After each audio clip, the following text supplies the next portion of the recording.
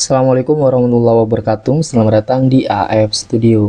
Oke di video kali ini saya akan membagikan tutorial cara screenshot di HP Redmi Note 13 Pro. Nah jadi ada beberapa cara untuk melakukan tangkapan layar atau screenshot. Baik itu menggunakan tombol atau tanpa tombol. Dan tanpa berlama-lama langsung saja ya kita ke tutorialnya.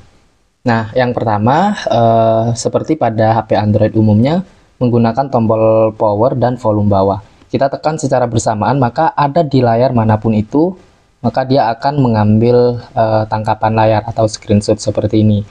Nah itu adalah cara yang pertama. Kemudian untuk cara yang kedua uh, bisa menggunakan uh, fitur yang ada di bagian pusat kontrol.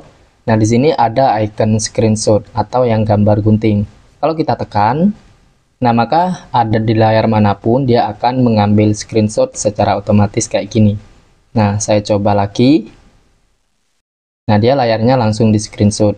Untuk cara yang ketiga uh, atau cara yang umumnya digunakan oleh pengguna HP Android adalah melakukan screenshot dengan tiga jari.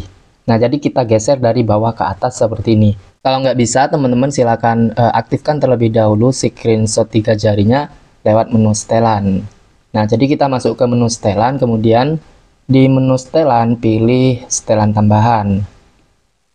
Nah, di situ ketuk pintasan gerakan, lalu pilih ambil screenshot. Nah, aktifkan yang geser ke bawah dengan tiga jari. Sekarang ada di layar mana pun itu, ketika kita geser menggunakan tiga jari seperti ini, maka layarnya dia akan di screenshot. Oke, seperti itu ya beberapa cara untuk melakukan screenshot di HP Redmi Note 13 Pro. Semoga bermanfaat. Kurang lebihnya saya mohon maaf. Assalamualaikum warahmatullahi wabarakatuh.